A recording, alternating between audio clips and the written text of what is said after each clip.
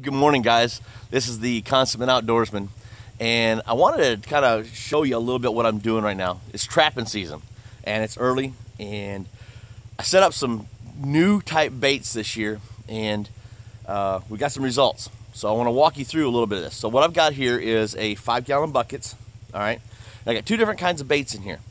One is a sweet bait, and the other is a fish type bait. I wanted to do a little test see which one worked better. But I got a little trick for us this year. So I also set up a game camera.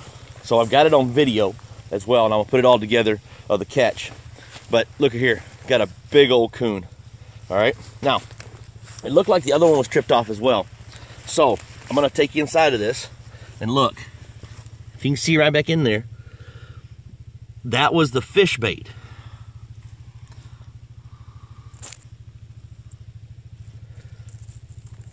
Okay, now we'll get old bit the little bandit out of the way here.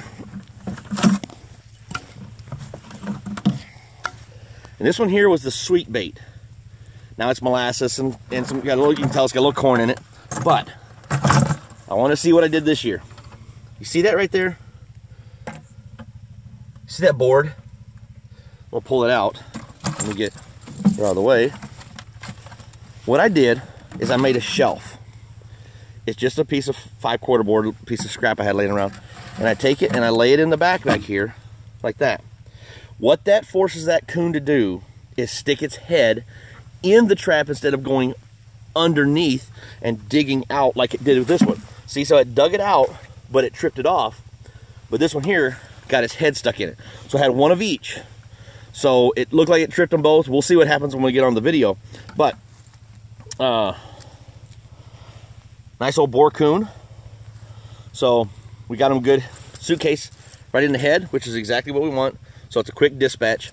So, hey, uh, this is a consummate outdoorsman, and we're on trapping season 2015. Got a couple coons already. This is the first first check of the line. So we'll talk to you later. Thanks a lot, guys.